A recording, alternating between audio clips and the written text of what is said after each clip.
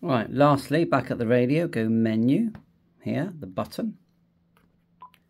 Go to set and down to SD card, which is at the bottom. SD card. And now we want to import some settings. So let's try, let's go to import, export, import. And it says here repeater list, go up and down.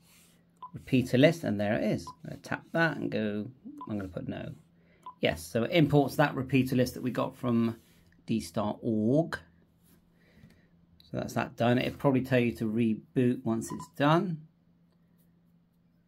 Okay, some data was corrected, thanks. I'm going to reboot. Turn it back on, and then I'll show you how to do the repeater monitor list.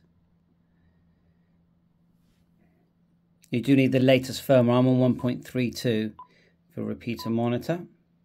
So we've got R. if we hold down DR, we've got our repeater list now, which is excellent. You can add your hotspot to that. So now we're going to do the whole monitor thing. So we're going to go menu with the latest firmware, go set. And you'll notice there's a new setting called DV repeater monitor. And then I've already put it in there. So if the file's here, just go to it and select it, okay? That's the one there. So that means that when you're in DR mode now, you can push the multi button and tap monitor. But you, it does say you need to be wi Wi-Fi connected. I'll do that now. And the reason it does that is because when you use repeater monitor, it will pick up DV repeaters via the internet as long as the repeater itself has been enabled, you know, Wi-Fi internet enabled.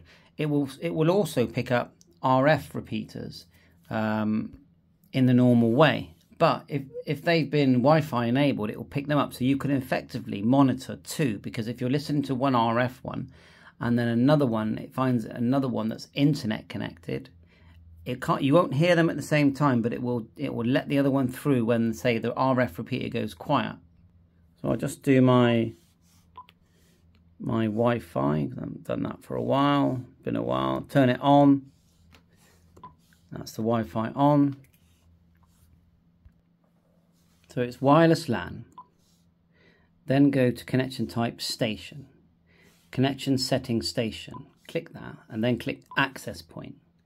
It will find your Wi-Fi. There's mine. And then you put in your password. Enter that and then click connect and then you'll get your Wi-Fi then. Still picking up my other ones. It says connecting. It says connecting. So we've got our Wi-Fi connected now. And then we're going to push the monitor mode. Uh, let's have a go now. Remember, when you're using monitor mode, there it is there, repeater monitor. You don't have to be in range of it as long as it's internet. My call sign is not set. Let's do that. And that's because I factory reset it. That's fine. Go menu, set, go to my station, okay? And then go my call, press it again. My call sign, we hold it. Are we holding this or what? Yeah, edit M zero FXB and then I, what I do is I go along past the flat line and I just put in 705 I, I like them to know what I've got. And uh, I'm not going to do a message now. Right let's do that again. My monitor. Monitor it's on. So now how do we find stations that are internet connected? So what you do as you scroll through the monitor ones, well, what I'm going to do, I'm still going to go for the nearest one. I'm going to tap it and go near repeater all. And then I'm going to select one that's near me. Make sure that monitor is on. Okay, so I did one thing wrong. The top half. So you can listen to your hotspot on the bottom half, no problem. Then you tap the top and you want to go to Gateway CQ. Yeah, you see that? tap the top, up and down, Gateway CQ choose your area. There's my United Kingdom one there. And let's go back to the beginning.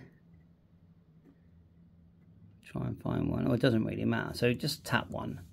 And then you'll start to get the word monitor. Remember, we've got to have monitor on here. As you scroll through, see if, it, if monitor appears like that, it means that it is internet linked, but it might not be turned on. If you want it to be turned on, it see that it's failed to connect. But if if you go through and it will go white. And when it goes white, now there's one there just gone white. That means if someone talks on that repeater, you will hear them via Wi-Fi, okay? Now, if we go to the bottom one here, I can still connect to my hotspot.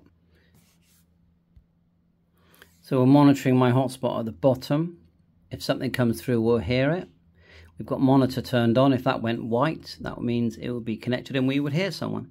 So give it a go. It's a shame because many people haven't taken advantage of that. Many repeater keepers haven't linked that to it. But if they did, it would just make the radio even more fun, wouldn't it? There's one there in Cambridge. Pretty sure you could probably scan it as well. I'll just try the scan button here. I'll just go, yeah, it looks like it is. It's scanning the bottom one. Do the top one near repeater. Oh, it's only scanning the bottom. Let's try again. Yeah. Even if I put it on there. Okay, bye for now. 7-3.